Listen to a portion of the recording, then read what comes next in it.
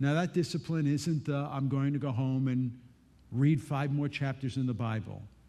It's a sense of putting balance to your life in the very many areas, as we've suggested, where you can start to build around the other dimensions of your life so that they all contribute to a personal, intimate relationship with the Creator, God of glory.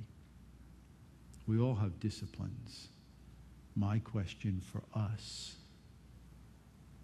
is have we chosen the right ones to pursue so that we develop to be who God wants us to be?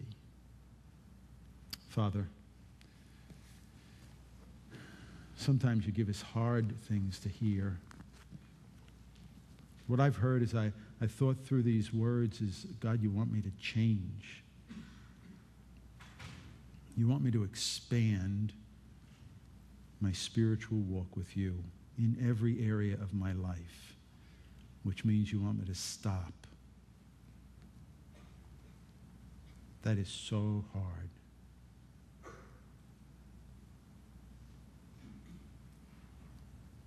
And so I pray that today we would each stop before you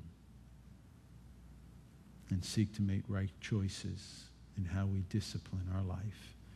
And we'll thank you for what you do in Jesus' name. Amen.